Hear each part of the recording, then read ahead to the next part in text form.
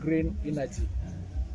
On the important matter of water levels and the crucial role dams play, we anticipate heavy rains, the mini El Niño, which we believe will potentially improve dams levels in both western and eastern regions. Considering that hydropower is the cheapest form of energy in Kenya, this will have the net effect of lowering the cost of electricity for all our consumers. Thank you so very much and God bless you.